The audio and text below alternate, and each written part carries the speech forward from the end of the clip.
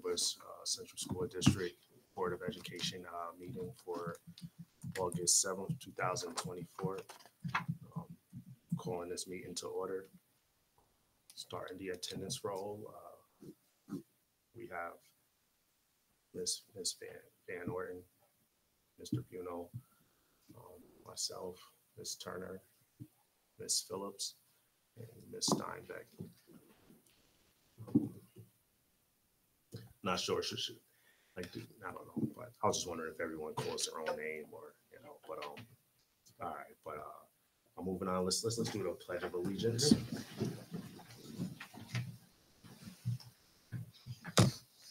allegiance to the flag of the United States of America and to the republic for which it stands, one nation, under God, indivisible, with liberty and justice for all.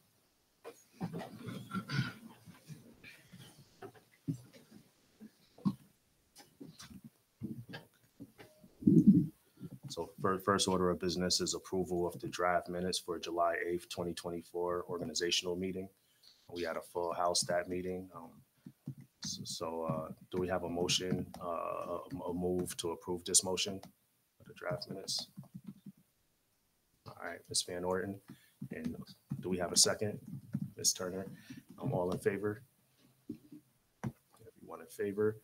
Motion passes. And we have an approval of draft minutes also for the regular meeting following the draft meeting. Um, similarly, uh, do we have a motion to, um, Mr. Buno and a second? Ms. Turner, and all in favor? Motion passes, all approves. Moving on to the board forum. Um, I'm gonna start on my right. Ms. Steinbeck, do you, do you have anything? Uh, no, nothing to add, thanks. Nothing, thank you.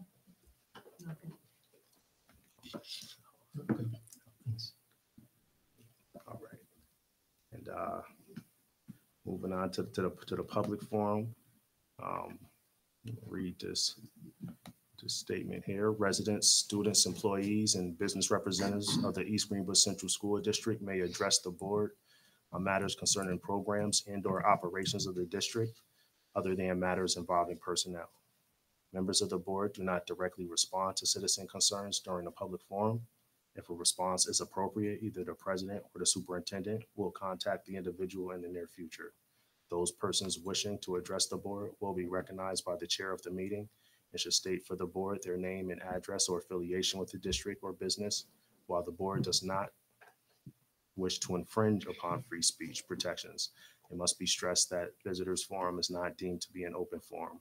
The board president will conduct the, the forum for the orderly and efficient operation of board business. In addition, any remarks which may be considered defamatory or stigmatizing are prohibited and will be declared out of order. All comment shall be limited to five minutes. Um, Do we have any comments? All right. So, so moving on to the next part of our agenda, capital project planning, phase one A status. Um, Mr. Simons. Uh, Yes, I wanted to let the community know and the board um, that we have submitted to the State Education Department the drawings and specifications for Phase One A of the capital project at the previous board meeting on July eighth. We reviewed some of the phasing information regarding the project. Uh, The Phase One project includes the replacement of the Columbia High School roof, which is at its um, uh, expiration date, basically. It's a 25, 20 to 25-year-old roof that needs to be replaced. Also replacing the outdoor basketball courts and the outdoor tennis courts.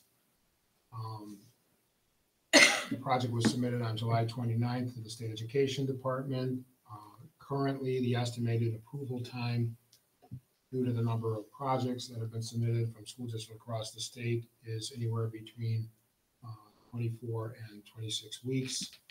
Uh, If that timeline holds true, we would anticipate that we would be able to go out to bid once the project is approved and hopefully start construction in mid to late May of 2025, uh, moving that project through the summer. The roofing portion of the project at Columbia High School will fall over two summers because of the size of the roof and it's a complete replacement. There's also some areas of asbestos abatement within the roof. We've had our asbestos consultant go onto the roof and do some testing. So over two summers, the summer of twenty twenty-five and the summer of twenty twenty-six will be the roof. We do anticipate, based on the schedule, that the basketball courts and the tennis courts would be done uh, over the summer and likely the tennis courts would be ready for the spring of twenty twenty-six uh, for the spring tennis season. Uh, We were able to consider the feedback that we received from the coach and some of the parents of the students that play tennis. We were able to find a design, working with Labella Architect, that could accommodate the ninth court. The rationale for the ninth court made sense to us in that typically a uh, tennis match includes six singles matches and three doubles matches occurring at the same time, so that would enable families and players not to have to wait, you know, earlier, uh, and they all can watch all their kids at once. Mhm. There was an offset in the cost of that, which I want to bring to the board's attention. Some of the initial estimates that Turner Construction had put together included some amenities that we didn't ask for Mhm. And weren't planning on having, including lighting of the tennis court. So when we removed the lighting from the estimate, it was never part of the plan. And we added the ninth court, the difference was about forty-five thousand dollars more to do, do the ninth court to accommodate it. So we did it in a cost-effective manner and it didn't, won't really put in jeopardy any future costs and that will be coming in other later aspects of the project. So we thought it was a good idea to do it to support the program. We also have high utilization from community members in the tennis mm-hmm. courts, and it's been a, the condition of those tennis courts have been something that has been brought to my attention for a number of years, and we're glad that we could replace them. So happy that it's getting in on time. Uh, We're proceeding with the design of Phase One B, uh, which will include the work on the Goff athletic fields behind the school, as well as an elevator renovation and upgrade at the school. Um, Everything is subject to change uh, based on, you know, what happens regarding state education department approval times. Um, We try to be conservative in our estimate regarding the timelines to assume the longest amount of time that this could take uh, to be approved. But everything is proceeding very well, and we're working very closely, effectively with our architect and our construction managers. Thank you, Mr. Simons. Um, Do, do we have any comments from the board on the capital project? Well, I think it's great, uh, great that we were able to incorporate the feedback from the family community. I think that that's important. And, Um, you know, that we're responsive to the needs. So thank you for that. Thank you. Thank you, Mr. Simons. Moving on to the, to update on summer programs. I'm going to turn this over to Mr. Stiles, introduce our guests. Thank you, Mr. Simon. So before I turn over to Mr. Hartnagel, just wanted to give a, just a brief update on um, our, our summer programs uh, this year. So uh, we're running three, ultimately, I guess, three summer programs. We have our K-8 Elevate program, we have our extended school year program, and then we have, um, you know, high school credit recovery that's going on as well. So Mr. Hartnagel is the principal of our summer programs overseeing both the K-8 Elevate program and our extended school year program. Um, the Elevate program actually just ended this past Friday, served about 130 students. Um, as you know, I believe this was our third year of having the Elevate program, and it was funded through the federal money, um, which is expiring, um, you know, as we speak, you know, this this year. Um, so we had to make some decisions. Um, you know, kind of the plan the whole time was to have the um, Elevate program be a targeted program this year. So we looked at our student data and u- utilized our Renaissance Star uh, assessment data to identify students that we think would have benefited from this and open it up to those students um, first. So we were able to serve all of those students, um, families that wanted to enter that were that were targeted there. Um, for our extended school year program, something that um, you know is is driven by students' IEPs. Um, you know, and their, you know, their needs. That program has about 120 students in it this year. Um, I know that Mr. Hartnagel and, and uh, a few teachers are going to talk about some of the, the good work that's been going on, um, you know, this summer. But before I in- invite them up, we do have a short little video that uh, was put together by um, Mr. Adam about our summer school program.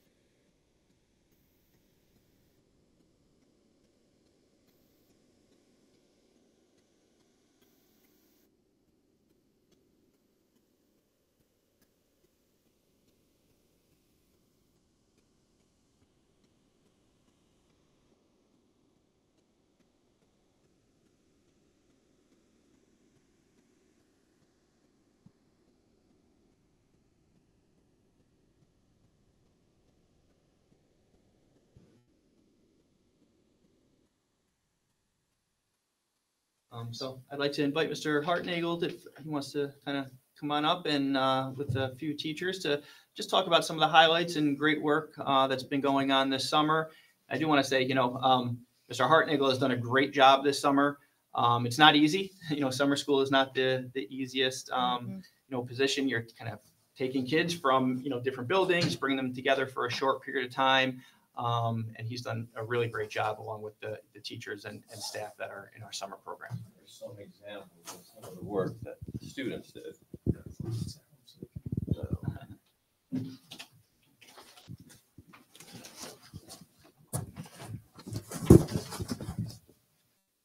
Sorry. All right, so we ran the two programs this summer. It was a lot of fun. Uh, Elevate ended on Friday last week, so we did a bit of a celebration for the students. We uh, brought all their work that they wanted to display in the cafeteria. Uh, each classroom that we had, uh, students were able to walk around on Friday to check out each other's work. And uh, during the day, we celebrated with ice cream.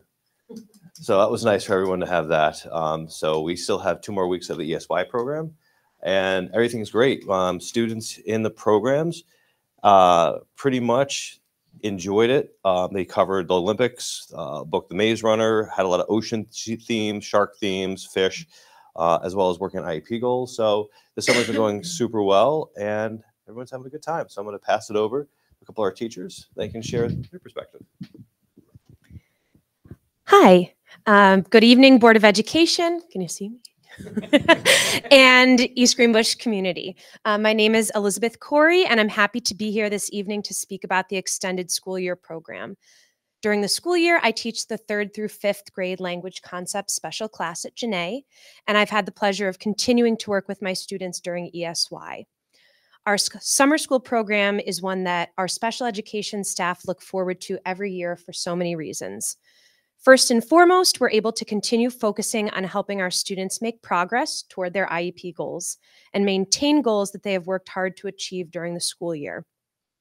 Within our half day program, I'm able to continue running targeted small group instruction in both ELA and math, as well as incorporating science and social studies concepts through thematic units of study.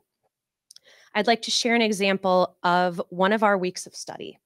Last week, my class studied ice cream and how it is made, culminating in an experiment where we made our own ice cream in a bag in class, tying together the texts we had read during reading group, measuring ingredients, sequencing, and following directions, and of course, sharing opinions after tasting the treat. Getting the opportunity to collaborate with special educators, related service providers, and teaching assistants from across the district is also an added bonus. Both my students and I always leave ESY with new tools in our tool, belt, so to speak. Thank you so much for the opportunity to share about the extended school year program.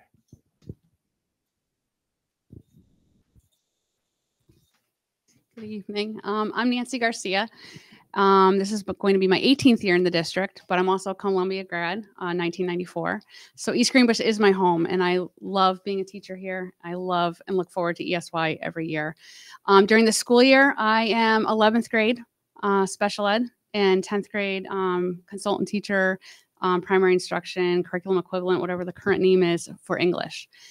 During the summer this year, I got to work with K2 language concepts. So a huge jump, um, which I wasn't sure how that was going to go. I'm used to the 11th graders. But what makes East Greenbush and the ESY program so special is just how we support each other. Um, working with kids, I had kids coming from Belltop and from Green Meadow, and their teachers communicated really well with me. Here are things that work well. Here are things you might want to try.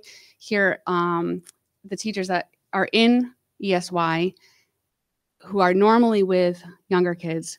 What do you need? How can we help? And it's been a great summer.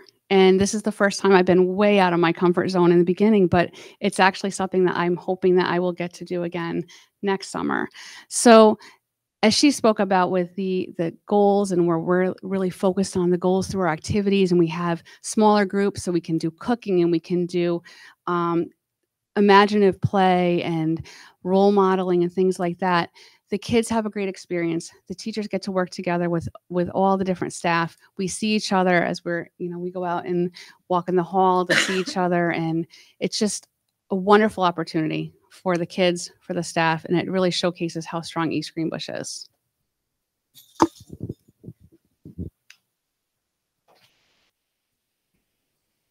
Any questions at all from, from the board? Just a little bit on background, is the program, um, are they voluntary or strongly encouraged? Um, s- I guess it depends on the program a little Okay. bit. Um, so the Elevate program, yes, is voluntary. Um, K through eight, at the, you know, it was strongly encouraged for our, for our targeted students. Um, and we had a pretty, a pretty good turnout, um, you know, from, from that.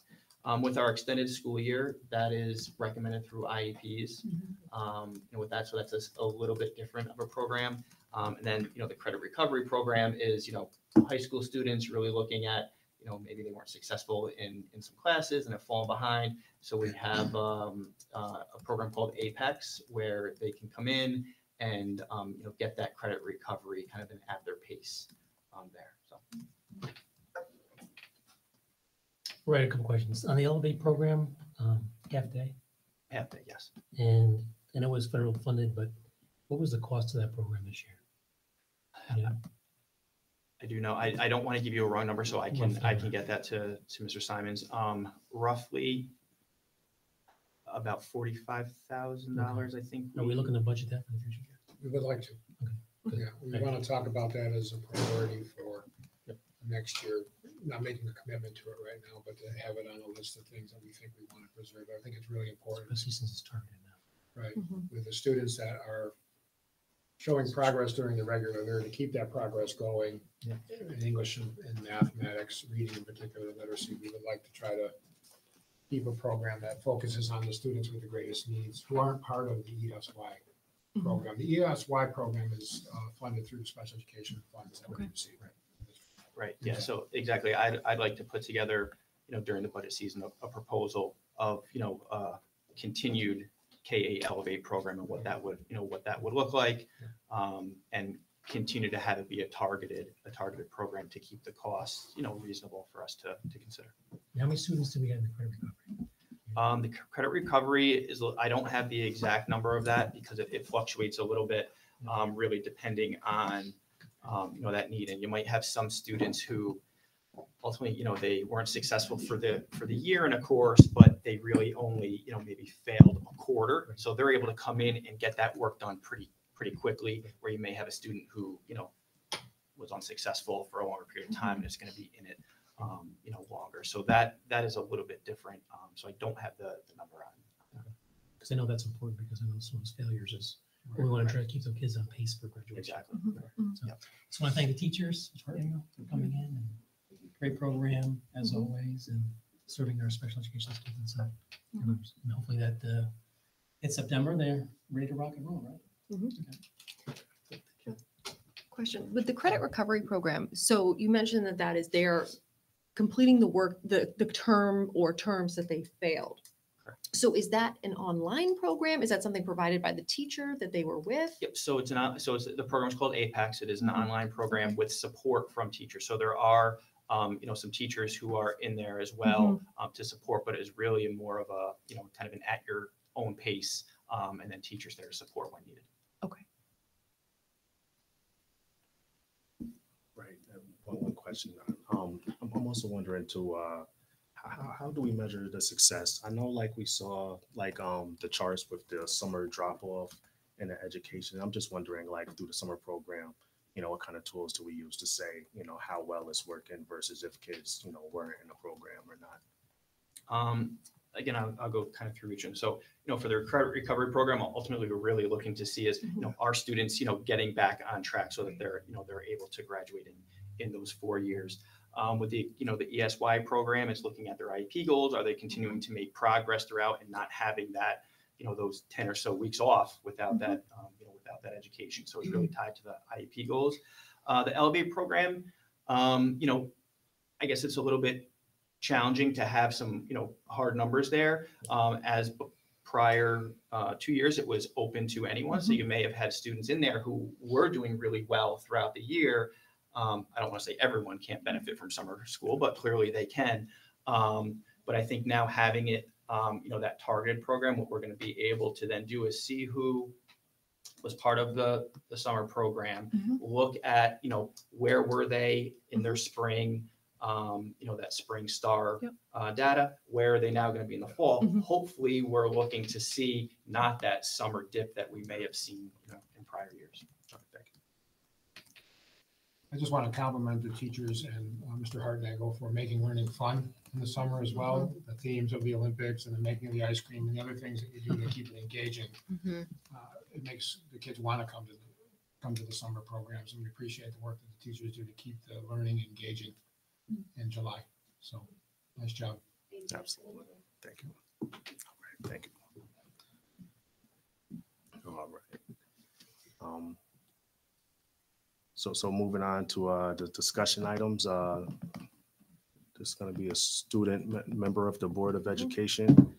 Is, is this, is this yours, Mr. Simons? Uh, Yeah, so um, actually, Mr. Buno mentioned this, I think, at the first meeting, or either the last meeting of the year or the first meeting in July, and wanted to keep this on as a discussion item. Um, The New York State Legislature uh, Uh, has a bill that I believe has at this point passed both mm-hmm. houses of the legislature, It has not been signed into law by the governor, that would require school districts to uh, have a student serve on the Board of Education as an ex officio member, a non-voting member of the board it's likely that the governor will sign this mm-hmm. legislation. It likely will come into effect for the 25-26 school year. But there's been some discussion um, within the board that we may want to do that sooner than mandated, or at least have some thorough discussions of it so that we're ready.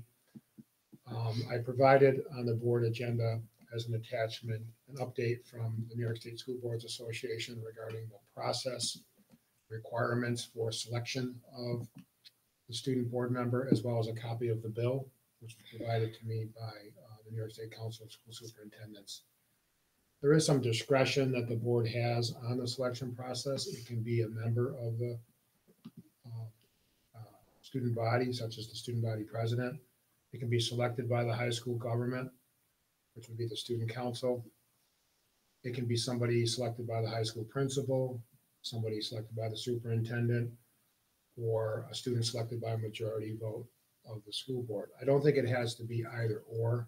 The legislation isn't clear. So I think you have a lot of discretion in how you want to structure this so that we're making sure that we invite any and all students who might be interested in doing it, that we uh, make sure that the selection process is done in a way that shows that we are open to any and all students who want to Mhm. participate in line with the board's goals to be inclusive and to support diversity, uh, involving student voice in the process, I think would be uh, an important consideration, but, uh, and then ultimately a process that leads up to the board approving the person, but has a lot of input and student involvement in it. So we're selecting a, a student for um, service that, you know, meets some of those considerations.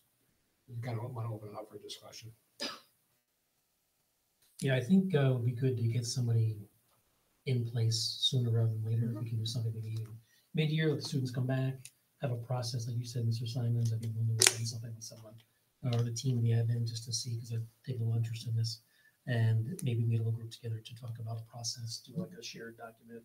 I do, I think we should multiple criteria. I do like the idea of, um, you know, And maybe, input. and and maybe like see Yeah. what, it says a third of the schools already have it, right? Yeah, So what are else they, has it? what are they using the as process, you their, don't have to reinvent the Yeah. wheel.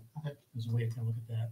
I know typically in the past, it's been a, basically had to go to vote, the voters to get that process approved. And then the board could use the criteria to, to make a selection.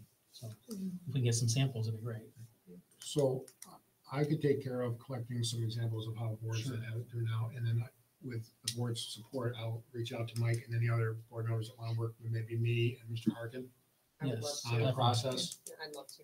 okay? And then we'll create a process that's open and um, Run it by the board.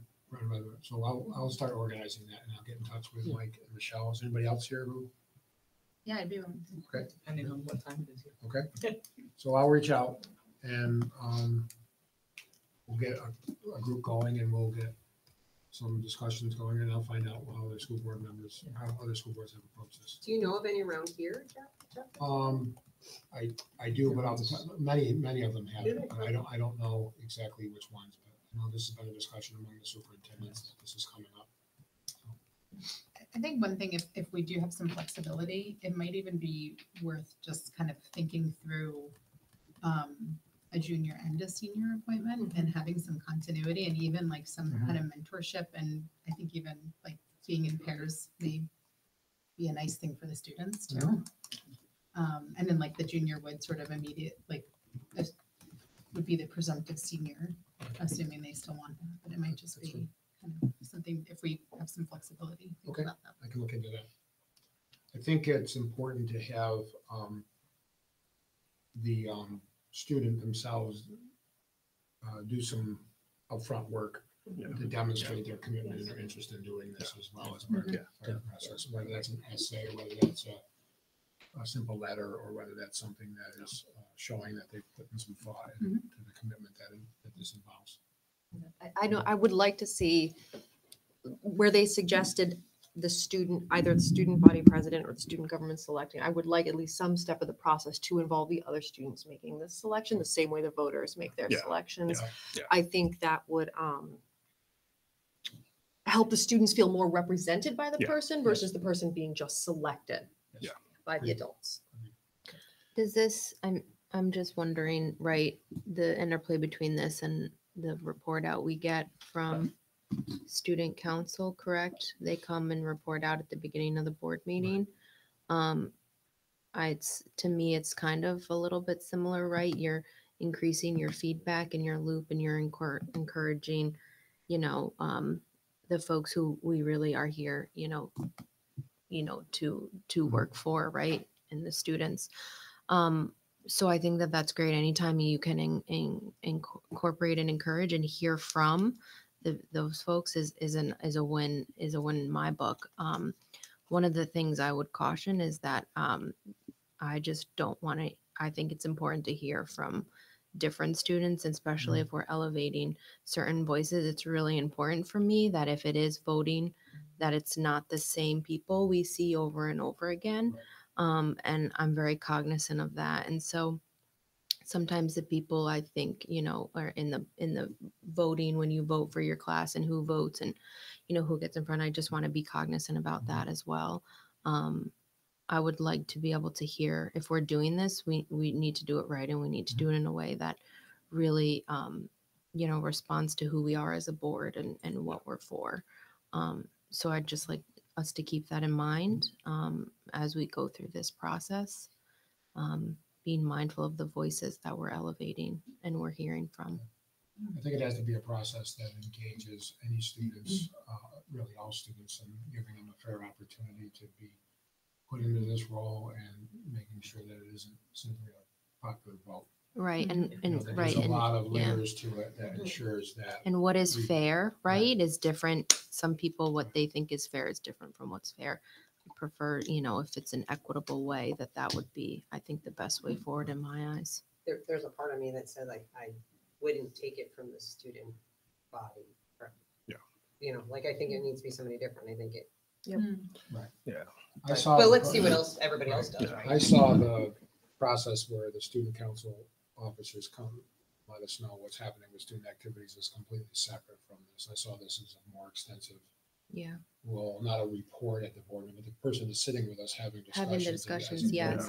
But I think, yeah, so my point is that if it's similar to my eyes, I think that sometimes when we get the student council report outs, and we can probably talk about this as a different agenda item at a different date, is that I think sometimes um, we hear about prom, we hear about the dances, and that's great, but when they want to make a decision about changing what homecoming court looks like to be more inclusive, I would love for that to be brought here to the table, um, as well as right prom and those things but I would love to hear it from from their body themselves how they came about that decision rather than trying to decipher it from social media. Understand.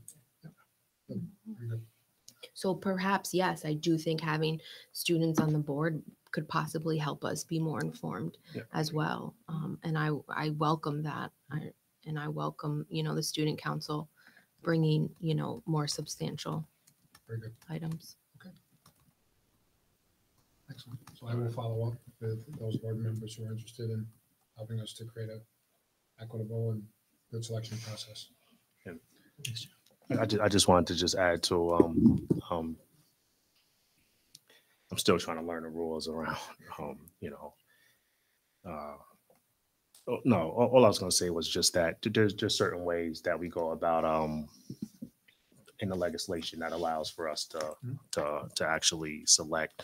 So, so I think the best way, I think that's what what you were saying was the best way to actually create the selection is for the board so that we can inform the process because the approval only could occur certain ways, right? Yeah, yeah, Exactly. So the board will be involved up front in the development of the process, having it really be kind of laid out procedurally in written form, and then we work with the high school administration and the students to, to implement it. And then ultimately, the student is nominated and brought to the board for approval. That was my, Mhm. my vision of it. Sounds great. So- So you're involved in the development of the process, but you're also putting your stamp of uh, vote on, the- on the selection of the individual student. Thank you, thank you. Welcome. Thank you, Mr. Bruno, for advocating for it. I think it's good to do it earlier than it's Yeah. required. Thank you all. Thank you. Okay, move, mo- moving on to the, to the retreat date on the, on the board agenda. Um, Mr. Simons, Yes, I think we're all set as far as everyone being available, which is great. Uh, we worked through a couple of different options for September fourth at six o'clock. Uh, We have a uh, calendar appointment, our uh, Board Retreat Development Committee with Jamie from uh, New York State School Boards Association, who is the Director of Governmental Relations, I think, or Board Development, I'm not sure of his title. So we're gonna have a meeting with him to discuss, you know, a perspective on what the goals of the retreat would be. We'll report that back to the board. I anticipate that there may be some kind of survey that will come out from School Boards Association to all of the board members to participate in, the- in the input that we need to have a very successful retreat. For the purposes of the public, uh, board development and board um, training Mhm. is uh, an important requirement for boards of education. Uh, The agenda for a board retreat has to be focused on board training and board development. Uh, It's really to get, uh, to work on the relationships among the board, the focus of the board, communication structures that make for an effective governance team. So it's something that we have done annually, and we're proceeding to do that on September fourth. And I appreciate everyone who provided some input and help in getting the date set. awesome. Looking forward to it. Is NYSSBA gonna send out, Jamie send out any kind of survey or anything? I think he, Yeah. there's been some discussion of Yes. that. We're having a Zoom calendar meeting with him next week Oh, good. to discuss it, and then I think he's gonna Yeah. follow up with that. So we'll talk about um Okay. what the the goals of the meeting, what we want to accomplish with him. And then he'll he'll have a survey that he sends out to the board members. Um, that will inform a little bit more of how how he'll run the meeting. And we will have, it's a six o'clock start time, so I know that's challenging for some people, so we will have dinner available for everyone. And Stephanie is taking care of that. Thank you, Mr. Simon. Welcome. All right, moving on to the, to the regular business uh, part of the agenda. Um, uh, This is approval of programs for resident children with disabilities. Um, is- Are there any questions or comments about, about this agenda item? So we'll, we'll move, uh, do anyone move to, to approve this uh, motion? Ms. Steinbeck, a second, Ms. Komersky, all, all in favor? All-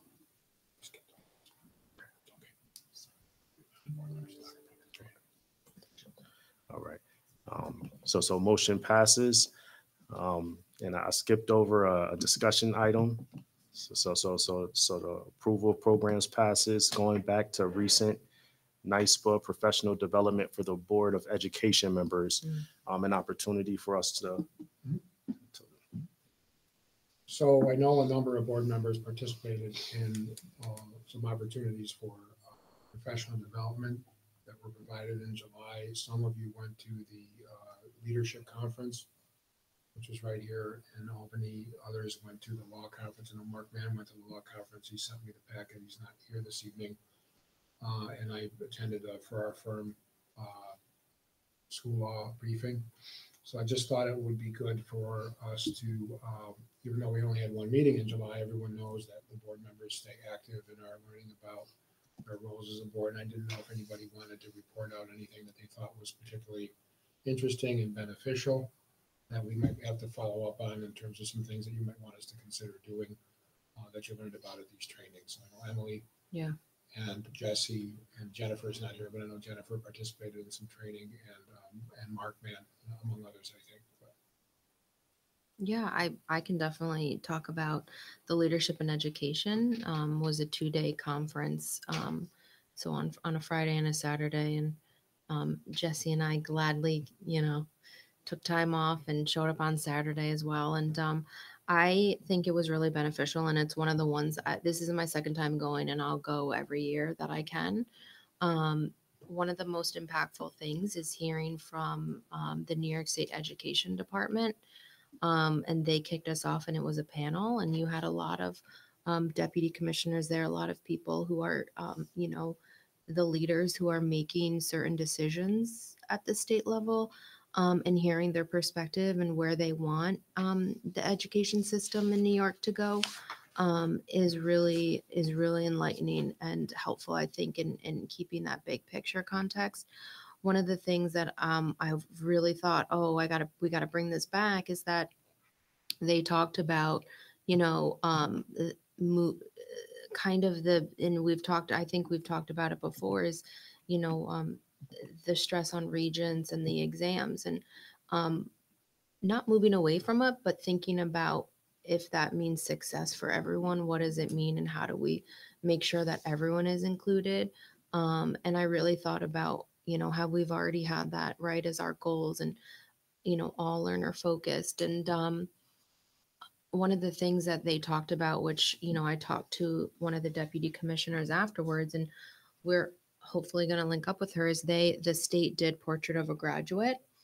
And um, they really um, are interested in partnering with districts on you know how that looks and and you know feedback from it. And you know i said we just i went up and talked to, to this deputy commissioner afterwards and i said we just you know start you know did portrait of a graduate and um, you know i would love i'm sure the district and um, would love to you know be a part of that i'm sure that they don't exactly align um, i think i knew that they didn't but there's a few that did and i think um, that speaks to i think the work we're doing um, matching up and perhaps a little bit right um, before on trend with what we'll see from the state. So I think that that was really reassuring um, that they're, you know, that the state's, um, you know, priorities really align um, with ours as well. Um, and that's always, I think, great to great to feel to know and feel so you're not having to put in all this additional effort and you kind of you know feel justified in what we talk about and the efforts we put in. So that was a really great session and um, one of the ones you know I look forward to is the state um, impact there. The other one that I uh, very quickly will talk on is um, there was a session um, called Measuring Success for All, and it was really essentially um, harnessing the power of data.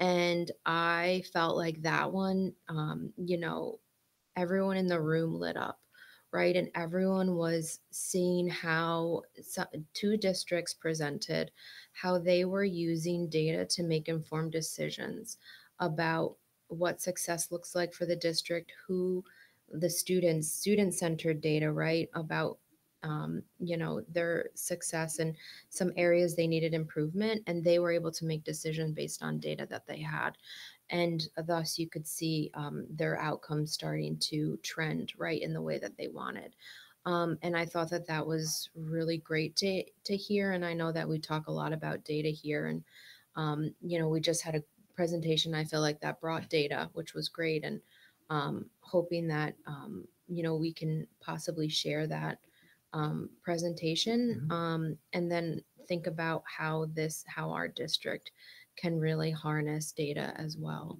um, maybe in conversations we're having or things we want to focus on. Um, one of the things too that they um, talked about in that is um, doing a culture survey, and that was um, the whole district community wide. And um, they talked about there was a lot of power in that, um, understanding where the perceptions was and and where the community felt. And I thought that that was really interesting, right? Um, and how they're were able to have that feedback loop with the community um, and the larger, I think, um, folks maybe they or voices they wouldn't hear, hear from and um, talking about how you're getting data that is measurable and you can trend over time. And i thought that that was really that would be useful as well. And i know when we talk about certain things things we want to do or where priority should be um, i think about oh if we knew or if we had you know some sort of idea of where where folks stand might be helpful. So wanted to share share those two quick points um, and things I you know took away. So And Jesse sent me that presentation today and I've already started some conversations with Mr. Styles about it. And I thought it was, Yeah. I thought it was pretty impressive. Yeah. Organized their data I think so, and like the, and tied it to the board yes, goals. And I think the issues that they had right were not issues I think that that we specifically experience. So like the context of it Mhm. right is is not exactly, but how really it's like how they assessed a problem, Yeah. the tools that they used to do it. It's it was the method and the process. Yes. And if you're a process person, you ate that up and you realized how they're making informed decisions Mhm. and how then they're going to get the outcomes that they want because they're very strategic about how they go about doing it. Um, so I thought, yeah, I thought it was very, very, um, very useful. Yeah, I- of course. I just wanted to share too. Um, my, my favorite part of it, like you know, is like my, my favorite part of it really was getting to know you better, right? What? No, no, no, seriously, because it's important, especially leading into the board retreat, right? Is because part of it is, you know, when we say, you know, all students, seeing all students, it, you know, it's, it's a culture, right? It starts with us seeing all each other, right? And and by Mhm. learning each other, what what matters, how we see things, and and you know, just looking at that from a perspective of of how we put that inside the policies. That that really was one of my favorite parts. Mm. Um, you know, thinking about too uh, about communication challenges that the Board of Education um, was was having. You know, where um, as they were pursuing seeing all students and identifying success for all students, um, some people in the communities were viewing it as um, making less rigorous standards. Um, so it helped me to appreciate that as we consider like portrait of a graduate, you know, communication is vital. You know, the truth is we're, we're not making it less rigorous. We're considering how to make it more rigorous to apply to a wider range of students, whereas the prior standard was limited just to a certain subset. So I think just thinking about how we message um, these communications, um, it definitely helped me to appreciate, um, you know, as as as Ms. Nybeck was saying, um, how in EG we're always leading, you know, the conversation, which is very encouraging. You know, I'm thinking about Portrait of a Graduate, our capital project, bringing ACs into the school. Um, um, and also uh, student council, um, um, considering that as, as part, and it's just all like we're always on trend. Um, and, and I would just add, you know, really thinking intentionally about when we say seeing all students, what do that mean? You know, Mhm. we're targeting everyone. How do we get to everyone? You know, because in the process of making sure that we elevate the unseen, we also don't want to mitigate those who are overheard so that everyone can appreciate that they have a seat at the table, they're being listened to, and we care, you know, about the mass. So, you know, I, I definitely appreciated the conference. So. I appreciate that board members take the time to participate in those uh, types of sessions, and I'm actually looking forward to more conversations like this when we go to the uh, NYSSBA convention uh, in New York City right? this year. We'll have Mhm. some time to reflect on the sessions together, and it- it's always a good uh, growth experience, and always, we always bring something back to help our students, and I appreciate uh, that commitment. Um, just briefly, I, I attended a couple of different things in similar uh, vein.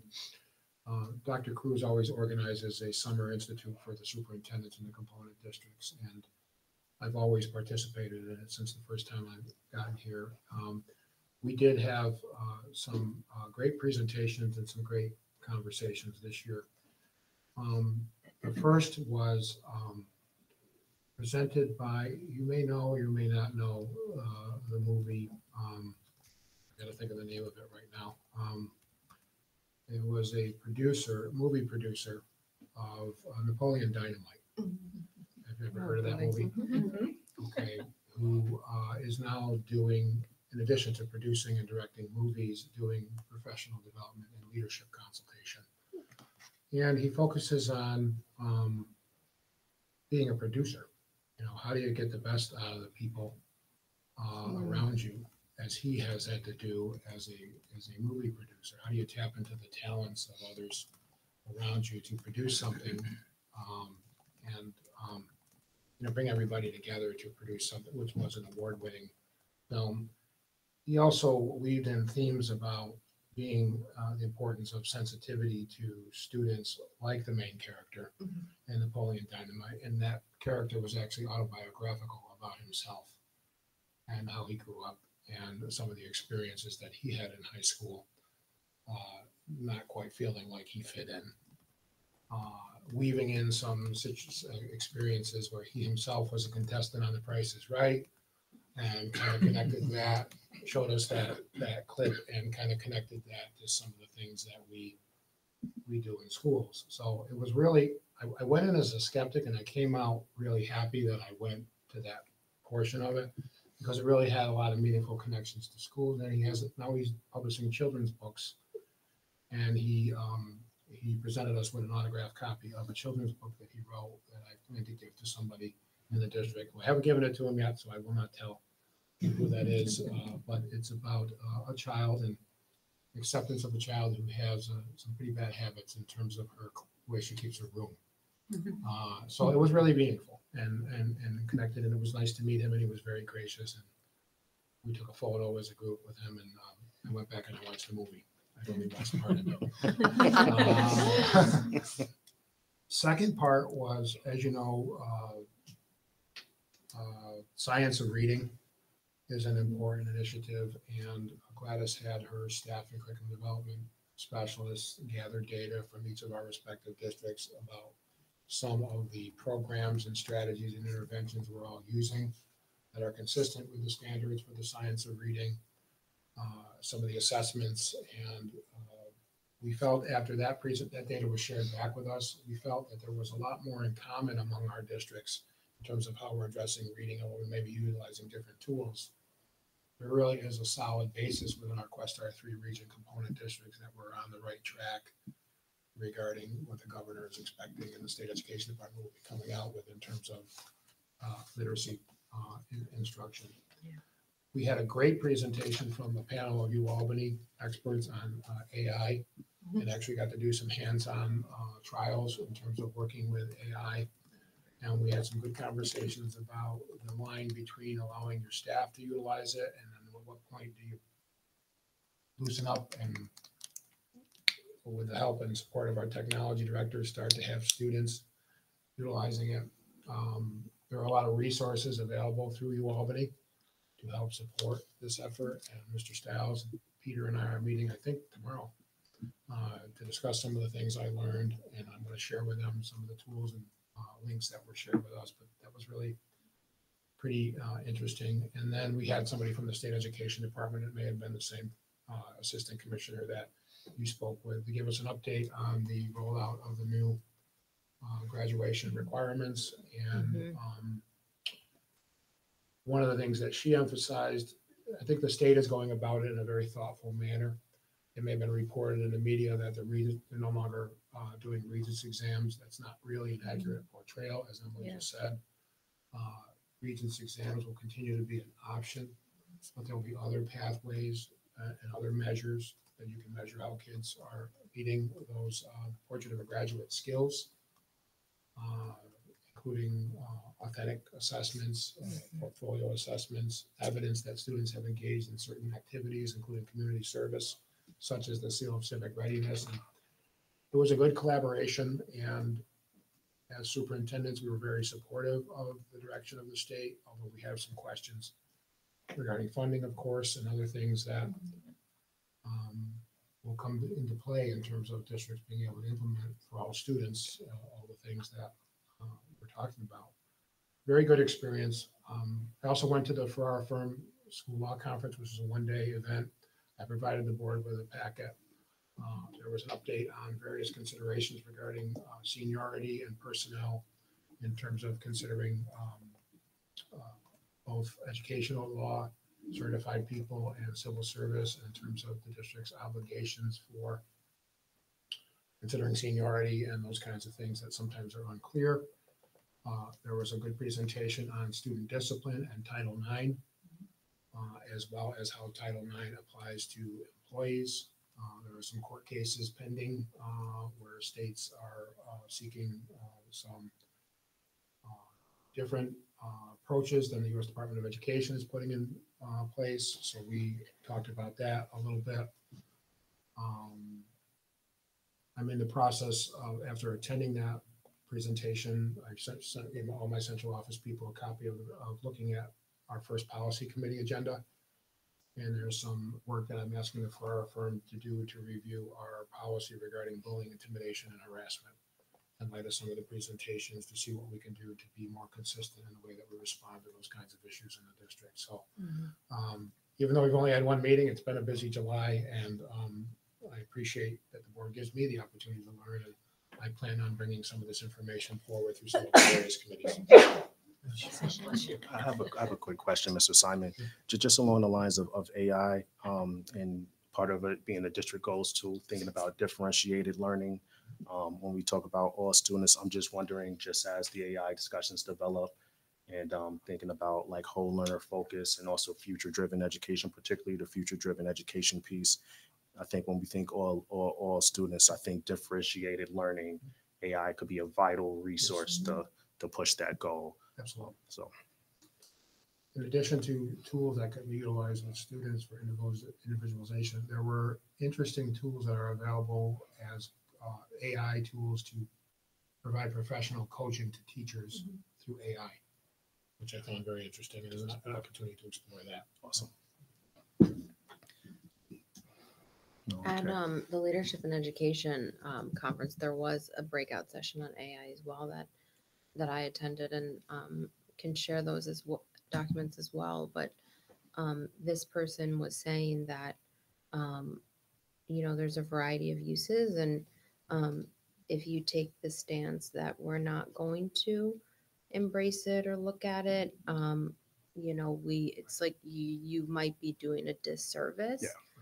to the students, to the staff, understanding that it could be a powerful tool in efficiency of, of work and of the effectiveness and learning ability of the student, not writing things for them, but helping them learn and understand, getting immediate feedback on Mhm. grammar and stuff Mhm. like that, that normally would take a teacher mo- a lot of time to review, you know, initially things. Also, they mentioned that um, you know, they were this this person um, had a child that had an IEP and they gave all of the information and even in the format and put it in the format of what it- name that school district and they said it was the best IEP that they've ever seen for their child. Um, and I just was so taken back by that. Um, and it really helped me kind of understand AI and um, a little bit more and how to think about it when we're thinking about, you know, the school district as board members. It'd Be a huge time saver for teachers. For sure.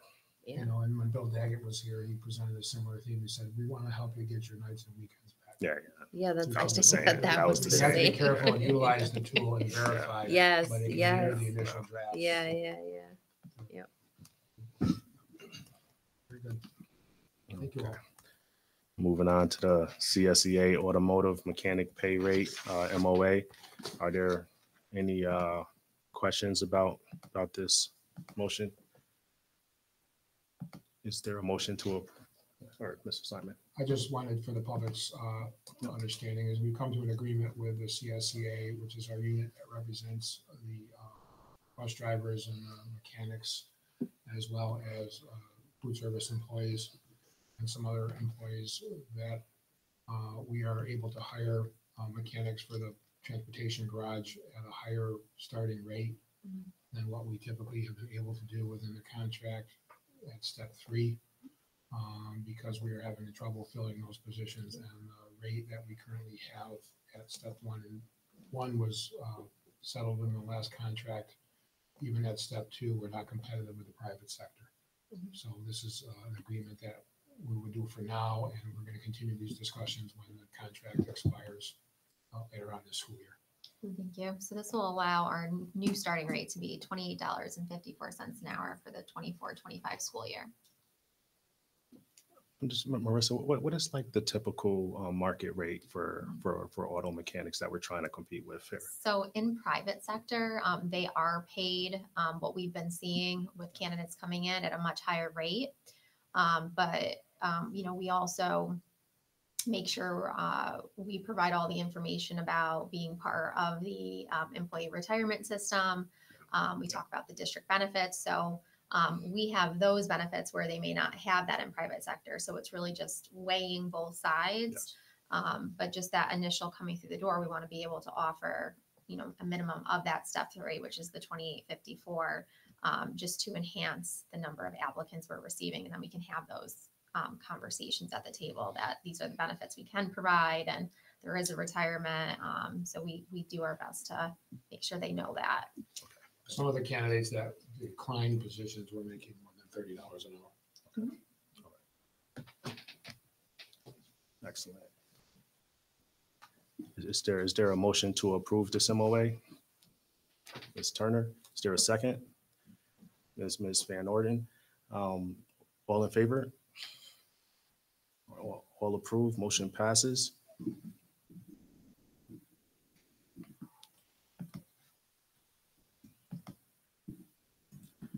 And moving on to, to a amendment, a resolution to approve um, Mr. McHugh, interim principal at, at Howard Goff Middle School for the 24-25 school year. This? This is adjustment to his compensation, which is consistent with the agreement you approved at a previous meeting, that once the E East, East Greenbush Administrators Association contract was settled, he would get the same adjustment for the next school year at the comparable rate to a, um, an off step, which is the administrators with the most experience, which was two point seven five percent. So this enables us to pay him that two point seven five percent adjustment in his salary. Jeff, tangential to this, what is the rough plan? We're gonna post for a new principal for Goff Middle School, likely in the late fall, uh, or late October, early November.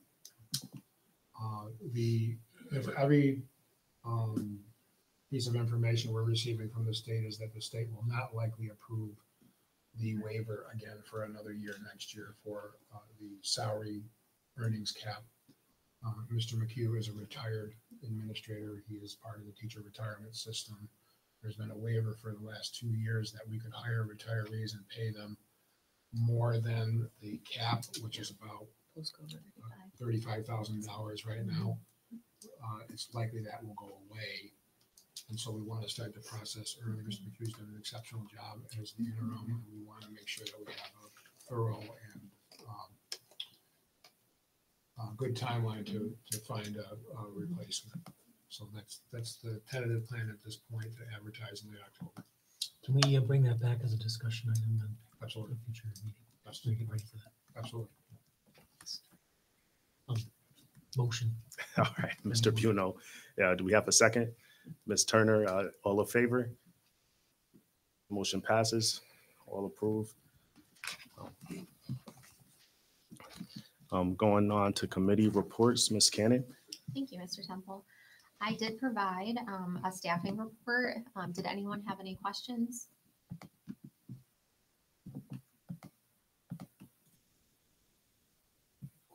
Looks like you've been pretty busy. We have been very busy. Part of that staffing report later on, we do have our candidate who is identified as the point, as the uh, point six uh, Help. health teacher and a sliver of physical education here with us this evening, Courtney Townsend. So you'll be appointing her a little bit later on, but she is meant, her position is mentioned on the staffing report. And we are going to be holding new staff orientation on um, August 19th and August 20th. So we have a good uh, two full days um, with our new hires. And uh, right now we are almost up to 20, 20 new additions to our East Greenbush family. Wow. That's awesome. I think it was great to see that 58 applicants applied. Yes. um, took off. I really hope that it gives folks that array of uh, applicants to look through and really hoping we get good good people or good candidates out of that. Yeah. Excellent. Thank you, Ms. Cannon. Um, So I don't believe we have any tabled motions. uh, a- a- Any old business? All right, moving on to the consent agenda. Uh, Do anyone need anything separated out or any questions about an item on the consent agenda? I just have one, um, under B, obviously, we're, we're doing all the fall sports. So I just want to make sure that we, and I think we did it last year, we implemented training for them and we're guaranteeing, that, you know, ed- student, you know, awareness training, all that stuff, and that's all still being, Yes, and actually, we're doing some additional training from what we did last year. Uh, Mr. Stiles, Ms. Cannon, and Mr. uh, Jones are working on some DASA-related training uh, above and beyond the normal DASA training that we do, which is the Dignity for All Students Act. We may have to do that in the beginning of the season due to the availability of the trainer, but we're going to focus on specific issues around student-to-student relationships as well as creating a safe environment for all kids within the sports program in terms of positive coaching and in terms of uh, some of the microaggressions we see in sports among the players. thank you. So, And we're going to really focus on types of examples of things that come out in athletics. I don't know if Mr. Styles and Ms. Cannon have anything to add on that. In addition to um, the DASA training, we're also doing a very um, detailed overview of the athletic code of conduct as part of um, that initial um, back to coaches night. Um, so we just want to make sure that there is a, um, an orientation that gets followed and then also, um, if anyone, um, cannot make one of the meetings, um, Mr. Jones is, um, going to be having everything on another day as well. So we're going to have two options. And that will include all coaches Mhm. required to be part of it, not just the full-time employees that we have serving as coaches, but the volunteer coaches Volunteers. and everyone that may work on the outside of the district is required to participate in those. I'd like to maybe think about how we can, um, I, I don't know, enhance that for the parents at the Meet the Coaches Night too. I mean, we all have accountability Mhm. to, to teach our children to be respectful. Um, so it would be nice, and, and, and I think Frank does do it. I'm just thinking maybe we need to expand a little bit Mhm. on what are the, this code, you know, codes of the Right. standard, you know, Um, one Just- of the things that thought Mr. process. Jones did last year, which I thought was good, and I know Mrs. Samirsky, you talked about it at a board meeting, is he brought in a sports psychologist Mhm. uh, to speak to the parents. Uh, I've encouraged him to continue to find uh, outside resources and guest speakers to come to the Meet the Coaches Night. Uh, I've also encouraged him to uh, make sure that, uh, you know, everyone within the athletic community is aware that, you know, perhaps some of the practices that were acceptable years ago in athletics, they may not have been right, but they were acceptable, are no longer acceptable uh, within the athletic program. Um, uh, Particularly, uh, kids are more um, apt to internalize comments and things that are made nowadays than they may have been a few years ago, even a few years ago, because of some of the uh, mental health and other factors in the environment that affect the way our kids are growing up. So I've had those conversations with Mr. Jones and through the training we're trying to put together, including the uh, Meet the Coaches Night, we're trying to emphasize that. Um, We want every, no different than the school or the classroom, we want every kid, every student athlete to feel accepted and to feel that they belong. Separate and apart from playing time, we want them to feel that they have a contributing role on the team and that they're valued for being on the team. Right. I, I, you know, I see it sometimes as, as a parent, as a, just check it off. My, I gotta go to, I gotta go to parent night or whatever. Mhm. But I do like the interaction, you know, make it more actively Yes. engaging and, and walk away with something more than just, I did my duty by going in. We're working with Jody Sullivan from Questar BOCES to identify some of the training components. And um, you know, Jody was the individual that presented the, the youth empowerment. Yep, yep. uh, Program, and Roy has had conversations with her, uh, Marissa, and Terry Bordell. Yeah, so, um, yes, that additional training will be happening, um, for all of our fall coaches, and then we'll have it lined up, um, for our winter, our spring coaches, and then we see that as being, um, you know, something that we do annually, um, above, you know, all of our, our, our coaches, um, have gone through the full DASA training that, you know, that is required, but this will, you know, be, um, you know, our, our goal is to have it more targeted to, you know, how does that, how does DASA fall into being a coach in sports and what are those types of situations that are, you know, not traditionally Mhm. discussed in a school setting, you know, that, that the sport, um, you know, has a little bit of a different dynamic that can happen. So on this list at the bottom, it includes volunteer coaches.